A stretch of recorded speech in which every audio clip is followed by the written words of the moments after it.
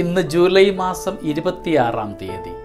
പരിശുദ്ധ കത്തോലിക്ക സഭ അനുഗ്രഹീതരായ വിശുദ്ധരായ ഒരു മുത്തച്ഛന്റെയും മുത്തച്ഛിയുടെയും ഓർമ്മദിനം ഇന്ന് കൊണ്ടാടുകയാണ്.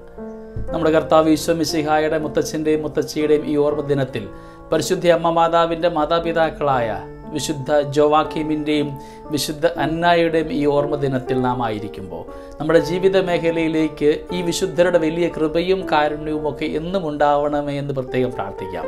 അന്ന ജോവാക്കിം നാമധാരികളായ എല്ലാവരെയും നമുക്ക് ഓർത്ത് പ്രാർത്ഥിക്കുകയും ചെയ്യാം. ഫ്രാൻസിസ് മാർപ്പാപ്പ ജൂലൈ മാസം ഇരുപത്തിയഞ്ചാം തീയതി ആഗോള സഭയിൽ കത്തോലിക്ക സഭയിൽ ഏറ്റവും ആദ്യമായി പ്രായമായവരെ ആദരിക്കുവാൻ മുത്തച്ഛനെയും മുത്തശ്ശിയെ ഓർത്ത് പ്രാർത്ഥിക്കുന്നതിന് വേണ്ടിയിട്ട് ഒരു ദിനം കൂടെ സമ്മാനിച്ചിട്ടുണ്ട്. World grand parents day. നമുക്ക് പ്രാർത്ഥിക്കാം. നമ്മുടെ പ്രിയപ്പെട്ടവർക്ക് വേണ്ടി മുതിർന്നവർക്ക് വേണ്ടിയിട്ട്.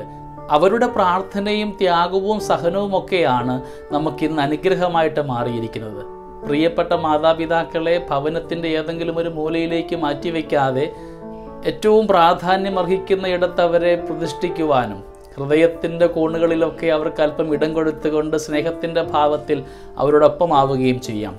ബഹുമാനിക്കാൻ നമുക്ക് പഠിക്കാം സ്നേഹിക്കാൻ പഠിക്കാം. പ്രായമായവരുടെ വിശ്വാസവും വിശുദ്ധിയും ഒക്കെ നമ്മുടെ ജീവിതത്തിന്റെ ഭാഗമാക്കിക്കൊണ്ട് പ്രത്യേകമായി ഇന്ന് ജവാക്കിമിന്റെയും അന്നാമ്മയുടെയും ഈ ഓർമ്മ ദിനത്തിൽ നാം ആയിരിക്കുമ്പോൾ നമ്മുടെ ഓരോരുത്തരുടെയും ഭവനത്തിന് വേണ്ടി പ്രത്യേകമായിട്ട് പ്രാർത്ഥിക്കുവാൻ ഈ വിശുദ്ധരായ മാതാപിതാക്കളുടെ മുത്തച്ഛന്റെയും മുത്തച്ഛിയുടെയും മാധ്യസ്ഥ്യം യാചിച്ചുകൊണ്ട് നമ്മുടെ ജീവിത മേഖലകളെ കുടുംബത്തെ അനുഗ്രഹമാക്കുകയും ചെയ്യാം. ഇന്ന് ജൂലൈ മാസം ഇരുപത്തിയാറാം തീയതി. പരിശുദ്ധ കത്തോലിക്ക തിരുസഭ ഇന്ന് വിശുദ്ധരായ അന്നായുടെയും ജോവാക്കിമിന്റെയും ഓർമ്മദിനം കൊണ്ടാടും. പരിശുദ്ധ അമ്മ മാതാവിന്റെ മാതാപിതാക്കന്മാരാണ് അന്നായും ജോവാക്കിമും രണ്ടുപേരും ദാവീദിന്റെ ഗോത്രത്തിൽ ജനിച്ചവരാണ്.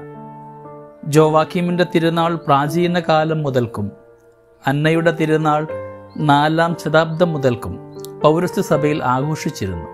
തങ്ങളുടെ അസാധാരണ പുത്രിയുടെ സംസർഗത്തിൽ ജോവാക്കീമും അന്നായും അത്യധികം ആത്മീയ ആനന്ദം അനുഭവിച്ചിട്ടുണ്ട് തന്റെ കുഞ്ഞ് ഉത്ഭവപാപരഹിതയും സർവഥാ നിർമ്മലയുമാണെന്നുള്ളത് മാതാപിതാക്കന്മാർക്ക് ആനന്ദ കാരണമായിരിക്കുമല്ലോ മകൾ ദൈവമാതാവായി തിരഞ്ഞെടുക്കപ്പെട്ടത് അറിഞ്ഞ നാൾ മുതൽ അവരുടെ സന്തോഷം എത്ര വർദ്ധിച്ചിരിക്കും. ദൈവമാതാവിന്റെ അമ്മയായ അന്ന എത്രയും വത്സലയായ ഒരമ്മയാണ്. പേരിന്റെ അർത്ഥം തന്നെ അനുഗ്രഹദായിക എന്നത്രേ. അവളുടെ വാർദ്ധക്യത്തിലാണ് മറിയം ജനിച്ചത്. തന്നിമിത്തം എത്രയും വാത്സല്യത്തോടെയാണ് ആ ശിശുവിനെ വളർത്തിയതെന്ന് ഊഹിക്കാമല്ലോ. അമലോത്ഭവയായ ശിശുവിന്റെ ഓരോ കാൽവെപ്പും അന്നായിക്ക് വളരെ കൗതുകമായിരുന്നിരിക്കണം. യഹൂദ ശിശുക്കൾ ദൈവാലയത്തിൽ പുരോഹിതന്മാരുടെ മേൽനോട്ടത്തിൽ ശിശുഗൃഹത്തിൽ താമസിക്കുന്ന ഒരു പതിവുണ്ടായിരുന്നുവെന്ന് പറയപ്പെടുന്നു. തദനുസാരം അന്ന തന്റെ ശിശുവിന് മൂന്ന് വയസ്സുള്ളപ്പോൾ ദൈവാലയത്തിൽ കാഴ്ചവെച്ചുവെന്ന് ഒരു പാരമ്പര്യമുണ്ട്. അതിനാൽ തന്റെ നിർമ്മല ശിശുവിന്റെ സഹവാസത്തിൽ നിന്ന് ലഭിക്കാമായിരുന്ന ആനന്ദം അന്ന ബലി ചെയ്തു. ക്രിസ്തീയ കുടുംബങ്ങളുടെ മധ്യസ്ഥയാണ് വിശുദ്ധ അന്ന. അവളുടെ മാധ്യസ്ഥ്യം തേടിയിട്ടുള്ളവർക്കെല്ലാം അസാധ്യമായ അനുഗ്രഹങ്ങൾ സിദ്ധിച്ചിട്ടുണ്ടെന്ന് ക്രിസ്തീയ സാഹിത്യം സാക്ഷ്യപ്പെടുത്തുന്നു. ജസ്റ്റിനിയൻ ചക്രവർത്തി എ ഡി അഞ്ഞൂറ്റി അൻപതിൽ കോൺസ്റ്റാന്റിനോപ്പിളിൽ വിശുദ്ധ അന്നായുടെ ബഹുമാനാർത്ഥം ഒരു ദേവാലയം പണി ചെയ്യുകയുണ്ടായി. എ ഡി എഴുന്നൂറ്റി അഞ്ചിൽ വേറൊരെണ്ണം ജസ്റ്റീനിയൻ ദ്വിതീയൻ നിർമ്മിച്ചു.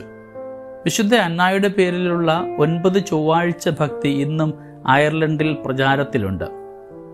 വിശുദ്ധ അന്നയുടെ ശ്രേഷ്ഠത മറിയത്തിന്റെ അമ്മയായതുകൊണ്ട് മാത്രമല്ല തന്റെ വത്സല വത്സലപുത്രിയെ ദൈവത്തിന് കാഴ്ചവെച്ചത് ദൈവസ്നേഹത്തിന്റെ പാരമ്യം കൂടെയല്ലേ?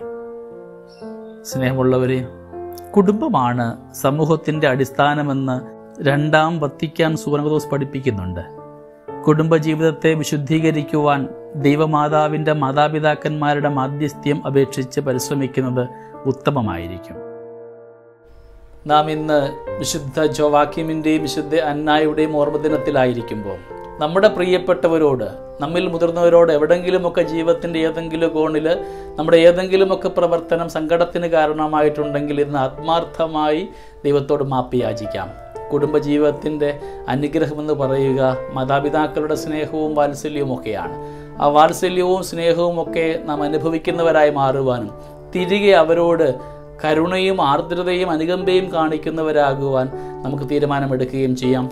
ഈ ദിനത്തിന്റെ എല്ലാ മംഗളങ്ങളും സ്നേഹാശംസകളും നേരുന്നു. ദൈവം നമ്മളെല്ലാവരെയും സമൃദ്ധമായി അനുഗ്രഹിക്കട്ടെ. നമ്മുടെ കർത്താവ് ഈശ്വമിശിഹായുടെ കൃപയും പിതാവായ ദൈവത്തിന്റെ സ്നേഹവും പരിശുദ്ധാത്മാവിന്റെ സഹവാസവും നമ്മുടെ കൂടെ എന്നും ഉണ്ടായിരിക്കട്ടെ. ഇപ്പോഴും എപ്പോഴും എന്നേക്കും. ആമേൻ.